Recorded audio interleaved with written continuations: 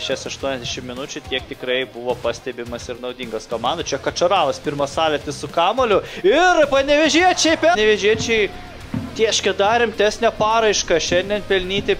Linas Klimavičius kaip šešėlis persikėjantis Robertą Veževičių.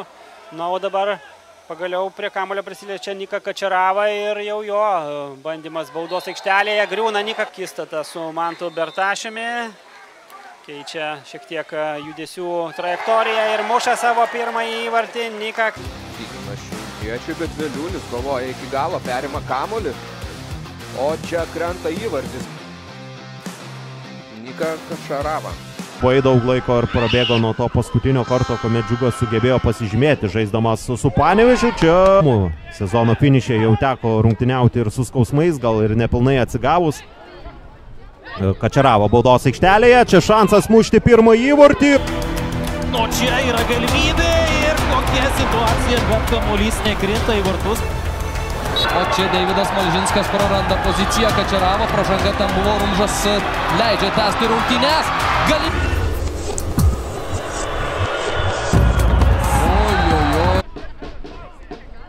Pragų, Nojus Lukšys. Dabar Nika Kačerava klaidina Rapakovskis, sutrukdo Čadženovičiui.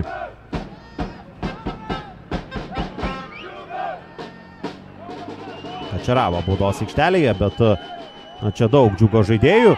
Ir daugiau lygos komandų galbūt taurėje pamatysime neblogų komandų žemesnių lygų, o čia Kačevara muša įvartį 2-1. Akistotė prieš bangą ir per tas 12 minučių sugebėjo pelnyti įvartį ir dabar jis yra su ką.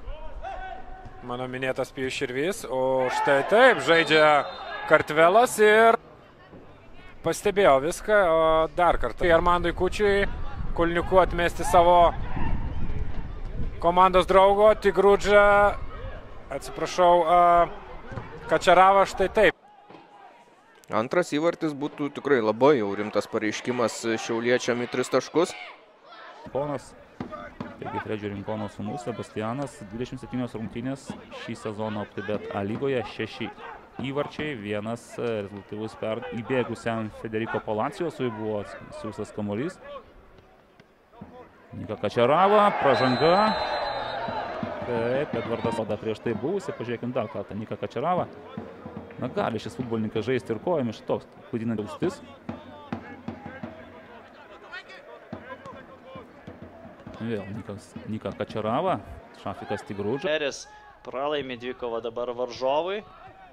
Kačarava. Puikus perdavimas Čadženui. Mandas draugus, nauja ataka dabar yra vystoma. Vėl Sakartvelėtis su kamoliu. Mbo. Šitas galima tęsti žaidimą, perdamas kairę koją, aukštai skrieja kamuolys ir gelbsti. Perdamas į baudos aikštelę, smūgis, kamuolys uh, rankos. Uh, labai dideliu pavojum, tai negalyčiau uh, laikyti. Dabar gerai.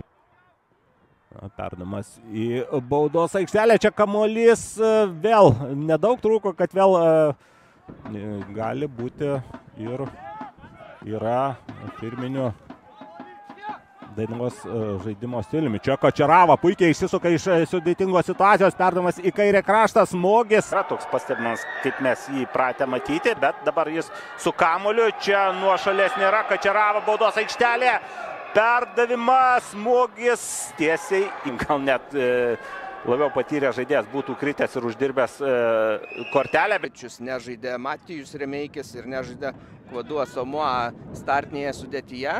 Bet šiuos žaidėjus mes pažįstame, šiuos žaidėjus mes matėme. Tikrai nepateks į futbolo vadovėlius šios rungtynės dėl gražių atakų.